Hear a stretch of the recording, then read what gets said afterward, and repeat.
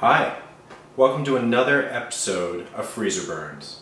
You know, in my career of eating, some of my best experiences have come from banquets, from wedding banquets or maybe sports banquets, uh, even business banquets. Those are the best places to get a satisfying meal, great meat, great potatoes, great desserts, all that stuff. Banquets are where it's at. Uh, so imagine my surprise as I was in the freezer section today and I found a great deal on banquets.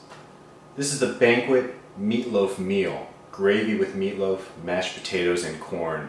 And even better, these were 8 for $10. So how can I get a great meal for less than $1.50? That's amazing. I'll tell you one thing. Uh, I, I gotta see for myself. Is this worth it? Is a banquet meal really what it says it will be? Because if it's any indication of the quality of this photography, I'm in for a culinary treat. Let's put this in the microwave and see what we got going on. So once again, we're talking about the banquet meal, the meatloaf meal. Uh, never really knew that meatloaf was, uh, was two words, but um, this is a banquet. I want to say right here, it says serving suggestion, enlarge to show quality. Now, so I really want you to take a look at that quality. That's some yummy meatloaf. See that brown sauce on there? It's glistening. I mean, this it, it's probably hit by the sun, uh, and it's just it's just radiating uh, yumminess. See how nice and rich that corn looks? And look at this white, fluffy potatoes. There's some nice, I, I think probably enhanced steam coming out of this meat and potatoes. On the flip side, talks about banquet meals, good hearty family favorites. Now I'm going to drop this thing in the microwave. Here are the directions. Remove the film cover from potatoes, microwave on high for three minutes. So uh, let's take this out of the box, let's pop it on the plate, and let's start removing some film. Here's the process of this banquet meal. First I'm going to remove the film cover from potatoes. Microwave on high for three minutes.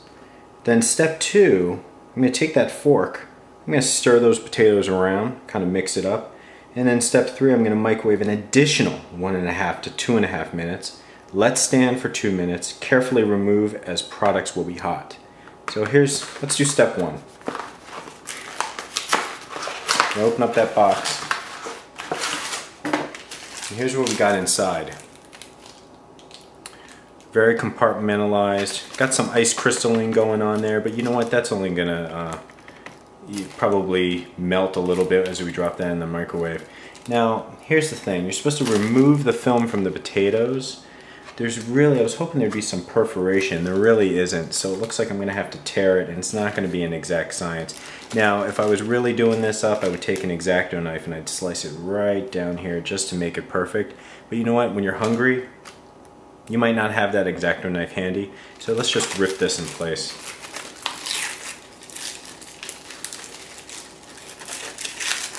I'm going to tear this back like this.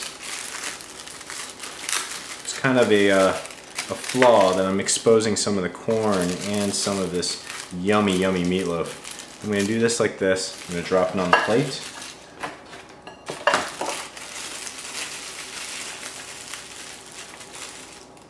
And I'm going to pop it in the oven for three minutes. Right away this film is kind of rolling back. Set that for three minutes. Let's start that up.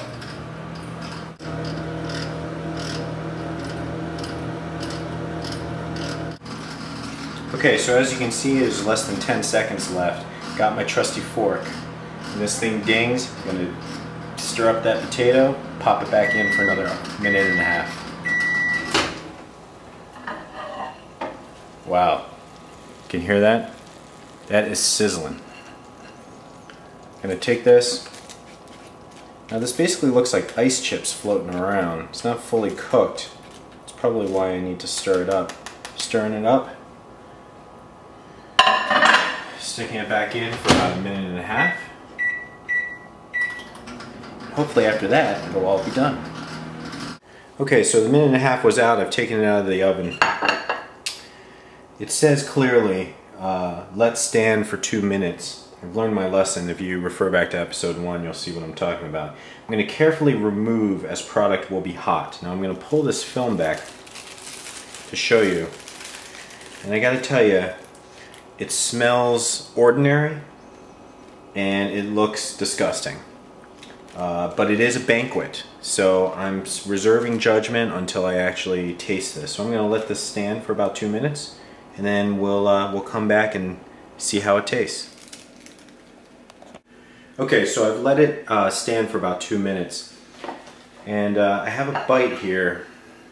One thing I'm going to show you is this is a, a piece. Whoops, this is a piece of that meatloaf.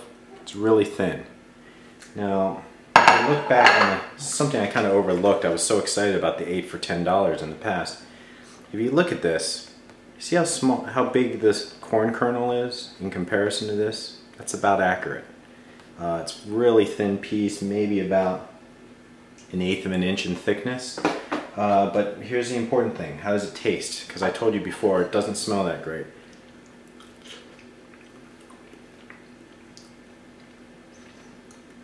This um, tastes like a mixture of what I would imagine dog food tastes like with a little bit of sand mixed in. Um, yeah, you know, I like meat and all, but that's just not good. I'm gonna try the potatoes and the corn. The corn is good. Corn is good. Um, the potatoes, uh, potatoes have no taste on it at all. I recommend maybe dumping a couple squirts of ketchup in there, maybe a pat of butter, a lot of salt and pepper. I'm gonna try the meatloaf again. Yeah. Um, it's the meatloaf's not it's not too salty it's basically very uninteresting. The fact that it's minuscule in size uh, doesn't even make it worth the money, in my opinion. Um, it's a small piece. The corn is good, the mashed potatoes. Honestly, it'd be better off throwing them in one big bag and shaking it up like a shake and bake and then uh, throwing it in a blender and drinking it up. Uh, it's basically not worth it. This is episode three of Freezer Burns, the banquet meatloaf dinner even if it's 8 for $10, it's not worth your money. See you next time.